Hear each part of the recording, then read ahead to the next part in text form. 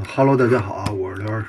接着上回给大家说啊，上回说到我跟那个我哥们儿啊，任金汤他们在一块儿，当时他们就是红米儿了啊，他老婆就是他女朋友啊，红米儿了，然后他们就去购物去了啊，赢钱购物，输钱当铺嘛，啊，就去了。嗯，后来我就那什么，到了晚上的时候呢，我就单独行动了，因为。他们两口子，你想两口子一红了米儿，他肯定他买东西啊，或者俩人想单独一块吃个饭呀，或者想腻乎腻乎会儿啊什么的。因为这人有了钱，他荷尔蒙上升嘛，他就那什么啊，嗯，然后那个当时就那样，我就自个儿一人单独出去玩去了啊，出去玩去了。然后，呃，我先到菜市场。啊，到了菜市场之后呢，我就去那个找明灯。当时没有找到什么明灯。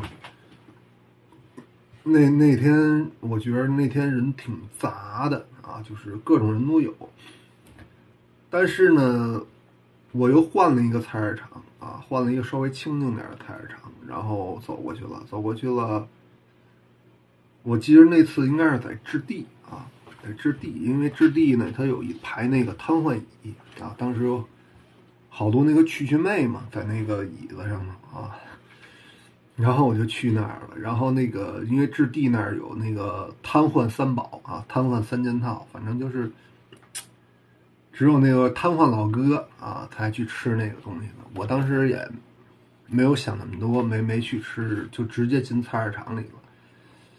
呃，去菜市场里还是去找明灯，然后没有找到，但是呢，没找到找着了一个美女啊，就是身材特别好啊，就是呃，该粗该该该丰满的丰满，该细的细啊，穿了一个那种浅粉色那个迷你裙，穿了一个那种蕾丝状那种白衬衫，穿了一个黑丝高跟啊，当时就是我一看就整个就这个人啊就。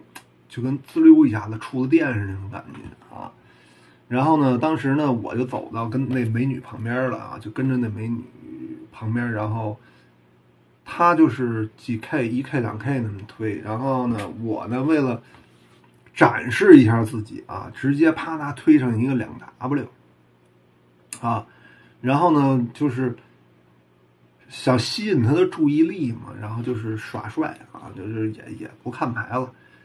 直接就这么着一摊啊，结果呢，没有，就是没给啊，就是黑米儿了。然后那两个 W 呢，就是被那个班长收走了啊。然后呢，直接我再又又追啊，也不管，就手里头的这点米儿啊，就就直接往里头。结果呢，又又被推走了。推被推走的时候呢，不是，就是第二口又推，然后黑了。塑料片又被那个班长给收走了。当时呢，我就说实话，就心情就已经不在这个玩红蓝上了啊！就看了一眼那美女，美女呢冲我一笑，哎呀，这一下子我就就算是魔怔了啊！又开始接着往上推，那会儿就什么路啊，什么明灯啊，就什么都顾不上了啊！就是展现一下自己哥有钱啊！结果我记着那一次。黑了十几口，啊，就那个时候就是脑子呀，就是魔怔了啊，就是，哎，其实怎么说呢？你说说话吧，也没跟人说上个什么话，啊，然后就是老觉得自己跟那儿自以为是那种耍帅，也加上那会儿年轻嘛，就是咔咔往上推。后来直到最后，我发现我洗白了，啊，就是，哎呦。就当时就是那种感觉，就是因为当时啊，我每推上一次，都看着那美女啊，那美女呢就是站在那儿，然后那个脚踩着高跟鞋，有时候还那个腿怎么着稍微垫起来一下，她那个垫脚尖的，她从她那脚啊从那个鞋跟里头垫出来时候呢，她的脚后跟从那个鞋跟里出来了，等那个高跟鞋耷拉着，然后看着她穿着那个黑丝的那个。脚腕儿啊，就是女女女人的脚腕还是挺性感、挺挺吸引人的。就当时就整个就上头了那么种感觉，啊，然后再加上那女的呢，喷了一一种反正特别好闻的那种香水啊，回转巴黎、反转巴黎好像叫那那个味味道的，哎，我特别喜欢那个味道。然后就整个这个人就魔怔了，后来就洗白了。这个时候我回过神儿来了啊，那你洗白了，本来我想耍耍帅，一会儿跟那女的搭个讪，结果洗白了，你没米儿了，在妈个，谁还搭理你啊？啊，这一下子心里头一下就慌了，啊，就就就，哎呀，这心里头就，就就恨不得抽自己的嘴巴，给自己扇醒了。干嘛呢？我我怎么了？啊，结果人家那美女还走了，这一下子我心里头不知道该怎么办了啊。然后那个出去了，出去了，然后我就找那个瘫痪椅上坐着，在那个。就是那个质地那瘫痪椅上，然后结果呢，那个一会儿呢，还又过来一个蛐蛐妹，还给我问我什么去不去啊？我说走走走走走。他说你要没什么事儿，你你让我坐会儿呗。我说这儿蛐蛐妹专座啊，我怎么就不能坐呀？啊，我累了啊，你自己没地儿坐，你自己活该。然后那个蛐蛐妹还瞪了我一眼，什么人呢？还说了我一句走。后来呢，我心里头挺不痛快的啊，几十个 W 就在那全黑完了，然后直接当时就是去吃那个吉祥三宝去了吧，就那个瘫痪三三件套去了啊。吃的时候呢，就是吃瘫痪三件套的时候呢，坐在那吃那些玩意儿的，就吃那三件套的时候，人来人往的那些人看见我呀。都一种一种一种特别蔑藐藐视啊，就是歧视的眼神在看我，因为所有人都知道，那只有挂逼老哥才去吃那个的啊。你坐在那吃那三件套的时候，你就等于在告诉所有人啊，我洗白了，我挂逼了啊。那个时候来来往往的人，当看见有人坐那吃那些玩意儿的时候，吃那泡面那些东西的时候，人家是瞧不起你。但是呢。那会儿也顾不上那些了啊！那会儿呢，我就给那个谁任金昌，我给他发一个微信，我说你在哪儿呢？那个时候我就整个人心就乱了，然后我想找他待会儿去。就是老哥黑了米儿的时候啊，跟其他人不一样啊！你看咱们就是说作为一个男人来说哈，你比如说你在工作上，比如说你事业受挫了，你往往有些时候想一个人待一会儿。啊，就喝点闷酒啊，干点什么，或者说哪怕说作为一个男人你失恋了，或者说你在感情上遇到挫折了，你也想一个人待一会儿。但是唯独说是在妈个黑了米儿或者洗白了，你不想一个人待着，你想找个伴儿，老想找人说点什么啊，这个挺奇怪的一件事。反正都是烦心，都是闹心，但是不一样。前两种是你老想自个儿单独待着，这个唯独黑了米儿。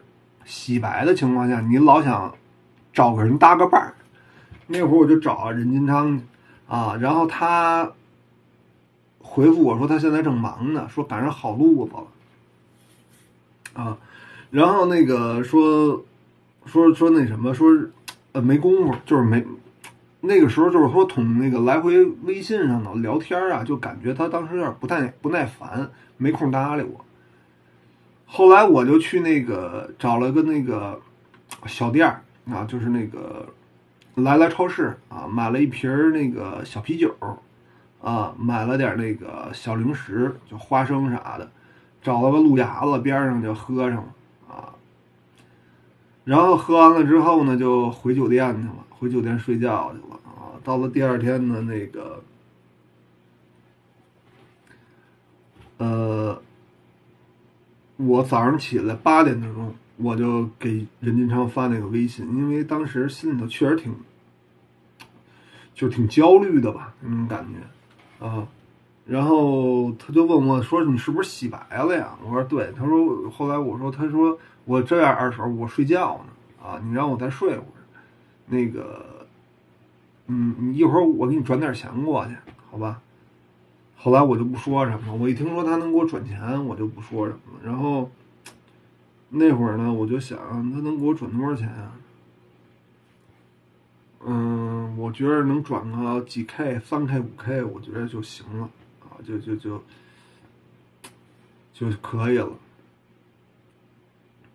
然后那个等到十一点多钟啊，他醒来了啊，然后他那个说二叔你过来吧，然后我去他那酒店房间找他去了，然后他跟他女朋友在呢。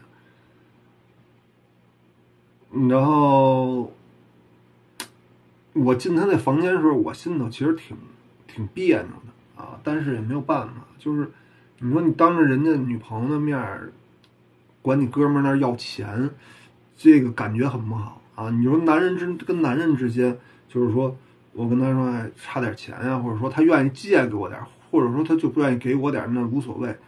就是你当着他女朋友或者他当着他老婆的面儿，他给你拿钱的时候，你是很难堪的，啊。后来呢，那我也顾不上了，那会儿我洗白了嘛。然后他，我以为他就给我几 K，结果他给了我五个 W，啊，在那咔数了五五十张一 K 的，然后给了我，我说。太大方了，他当时他那个对象啊，他也没说什么啊，就是因为当时他对象在呢。你想一般情况下就是，怎么说呢？这个女人吧，她就是自己男朋友或者老公啊，说借这钱给哥们儿啊什么的，她都拦着不愿意啊。但是当时他那对象呢，挺开心的啊，就说拿没事拿着吧，二手。你不是黑米了吗？你你你先那什么，你先用着。也当时也没说还啊不还什么的，就说让我先用着。后来我说你们怎么样？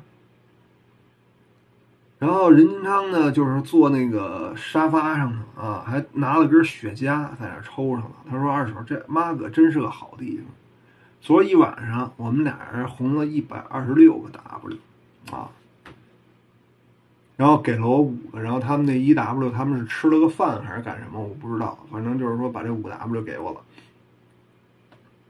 当时我听了，真的挺羡慕的。就是说，这种好事怎么没落到我头上呢？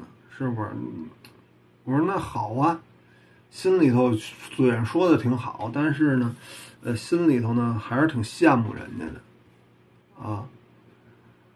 然后呢，我拿完米儿呢，我就走了，因为我觉得怎么说呢，还是脸皮薄啊。就是你拿了人家的米儿。